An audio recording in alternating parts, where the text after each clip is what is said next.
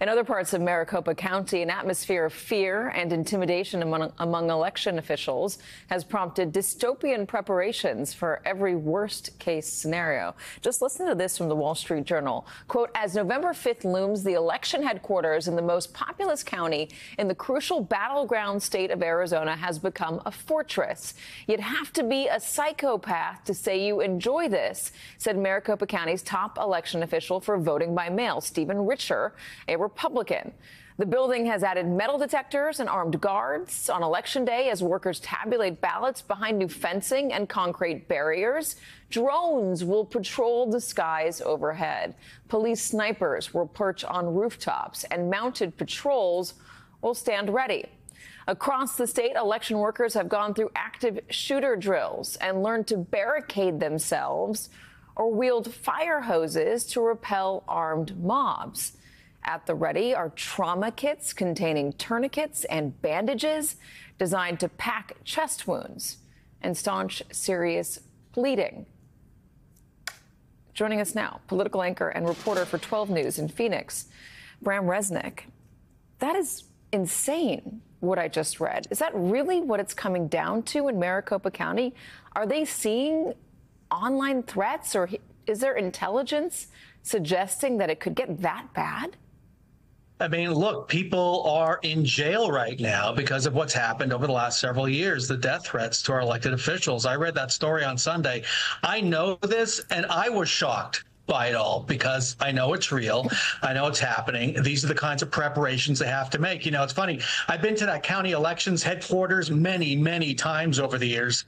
During the primary in August, I went there to ma- drop off my ballot.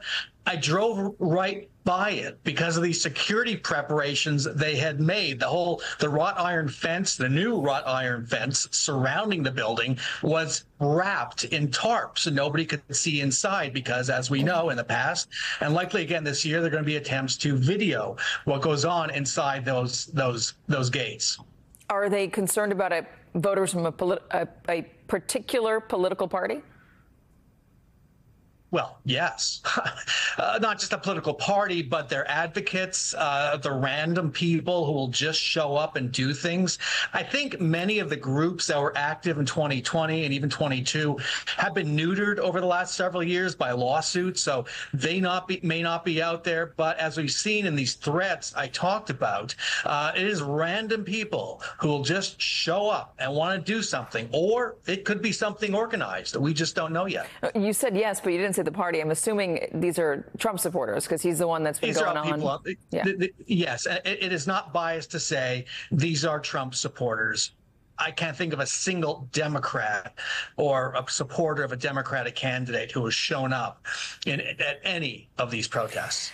Is this the sort of thing that's um, changing people's minds in Arizona? When when they see stories like this, or they see the hardening of their elections offices, or are they thinking, "Gosh, I'm I'm not comfortable voting for a political party that is inspiring this. Don't worry about it. I, I, I just had to wipe my lip off on camera too. It's, live it's television. very dry here.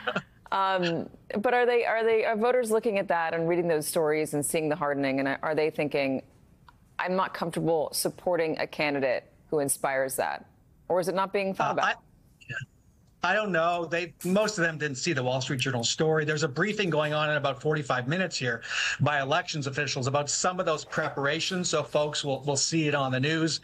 Uh, I think uh, it's largely out of mind for them. They've heard enough about it over the last four years. You would think it might have made an impact. It does make an impact among some who see their elected officials, county uh, board members in particular, who are deciding not to run because they don't want to deal with this. So some see some see it, but it's a large area, a, large area, a large electorate. I'm not sure it registers. Are are there enough volunteers? I mean, polls are staffed by largely by volunteers.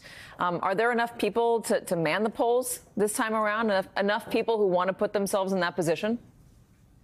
That's a really good question. It has been a challenge. They're offering more money. There were calls for more poll workers about a month ago. Here is something to watch on election night. We have a very long ballot this year. It's imagine filling out four 11 by 17 pages. That's how long it is. It's just stacked with stuff. It's taking voters a while to fill it out. That might be one reason why we're seeing kind of slow returns of early ballots. Uh, but also, there is a concern that the, the election places are going to stack up on election day, election night, with voters filling out long ballots. That could be a problem as far as getting our results on time and maybe creating more anxiety among voters. Brahm Resnik, really good to have you. Thank you so much for joining us.